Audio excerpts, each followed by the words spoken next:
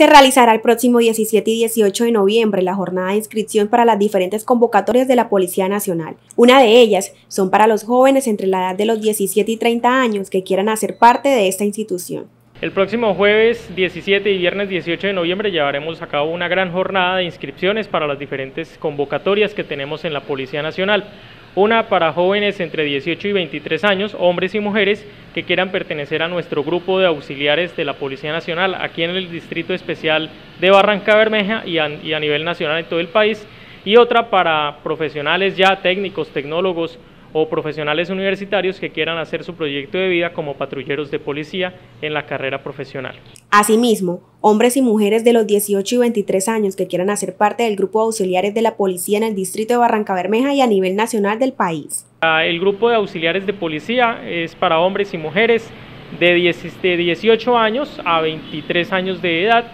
eh, bachilleres en el caso de, los, de las mujeres y para los hombres ostentar por lo menos quinto de primaria. Vale la pena destacar que los hombres que no han terminado su bachillerato lo podrán hacer mientras finalizan su servicio en la Policía Nacional a través de convenios educativos y este servicio lo prestan por el término de un año. Entonces los documentos que nos deben traer es fotocopia de la cédula, documento de identidad de papá y mamá y los diplomas que tenga la persona, el aspirante, ya sea bachiller, técnico, tecnólogo. Y para las carreras profesionales, eh, máximo un hijo para el caso de, del que quiera ser patrullero de policía y puede ser soltero o casado en ambos casos. Si desea más información de esta convocatoria, se pueden comunicar al número 321-261-0775 o en la red social de Facebook Incorporación Policía de Colombia.